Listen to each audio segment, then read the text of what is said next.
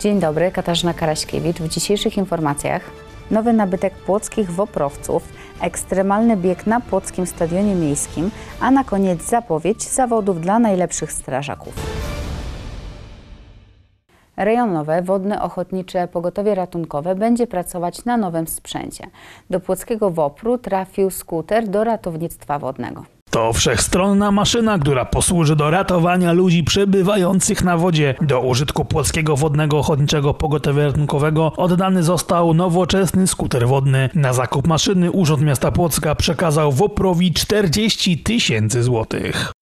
a żeby tego rodzaju sprzęt mógł e, wejść w posiadanie naszego WOPR-u, potrzebna jest właśnie taka współpraca. Potrzebny jest pomysł, zaangażowanie, determinacja e, naszego tutaj e, WOPR-u, który po pierwsze otrzymuje pewne wsparcie ze strony Urzędu Miasta, ale także to, to wsparcie pozyskuje chociażby z Narodowego Funduszu Ochrony Środowiska, dzięki czemu łatwiej tego rodzaju dosprzętowienie WOPR-u jest e, możliwe do realizacji. Ja cieszę się, bo dzięki temu będziemy mogli tutaj wszyscy czuć się po prostu nad Wisłą po prostu bezpieczniej i to zarówno w tych sytuacjach takich e, codziennych, bieżących, jak i kryzysowych, gdzie zawsze na WOPR e, można liczyć.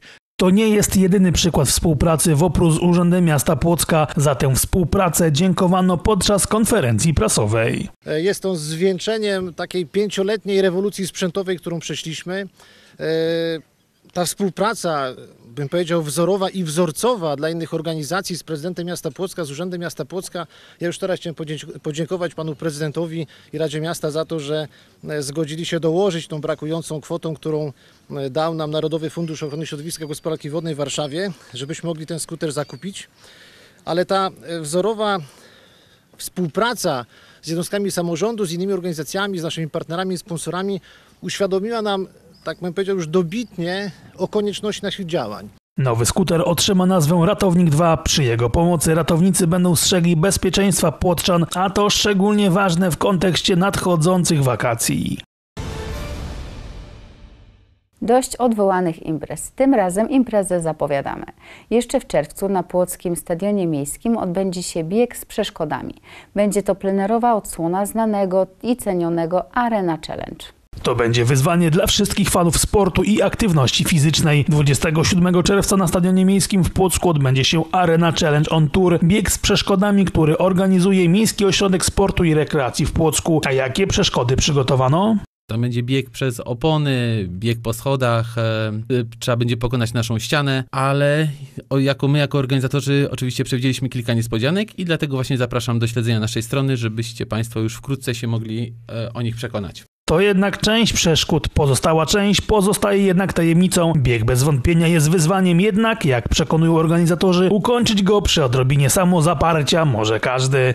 E, Oczywiście przewidujemy e, kategorie nagrody dla, e, dla najlepszych, najszybszych uczniów, ale zapraszamy każdego tak naprawdę i dla takich osób, które na przykład nie osiągną, nie uzyskają miejsc w klasyfikacji generalnej od miejsc 1 do 5, czy w kategoriach wiekowych, które też będziemy prowadzili. Każdy uczestnik otrzyma wodę, napój izo- izotoniczny, przekąskę na mecie Bieg Arena Challenge on Tour odbędzie się 27 czerwca na Płockim Stadionie Miejskim. Zapisy trwają. Szczegóły do znalezienia m.in. na stronie internetowej Mosir Płock. Wiele wskazuje na to, że już w sierpniu na Płockiej Starówce odbędą się zawody z wielką pompą. I słowo to jest tu uzasadnione. Na starym rynku w Płocku rywalizować będą ze sobą najlepsi strażacy. W sierpniu w Płocku odbędą się wyjątkowe zawody o randze ogólnopolskiej. Na Starym Rynku zobaczymy najlepszych strażaków, którzy zmierzą się z wymagającymi przeszkodami w ramach Firefighter Combat Challenge 2020. To wymagający test sprawności fizycznej strażaków, którego historia sięga 1975 roku. Teraz Firefighter Combat Challenge będzie w Płocku. Zawody w stylu amerykańskim przywędrowały do nas tak naprawdę za oceanu. E, historia tak naprawdę sięga do 1900 1975 roku, kiedy Uniwersytet w Maryland dostał zlecenie, aby zbadać e, wydolność fizyczną strażaków. To się składało z pięciu konkurencji. E, później te, te konkurencje zostały przeniesione na nasze zawody. Przywędrowało to do Polski. E, w tej chwili pod marką FCC są tak naprawdę cztery terminy w Polsce. Są to Pabianice, jest to Racibórz i jest to Łódź. Natomiast no, nie ma tego na Mazowszu, nie ma tego w Płocku. No więc w odpowiedzi na takie braki, na takie zapotrzebowanie chcemy to ściągnąć do Płocka. Także Konkurencje, które będą wykonywane w Płocku, będą niezwykle widowiskowe. Ogólnie składa się całość z pięciu konkurencji.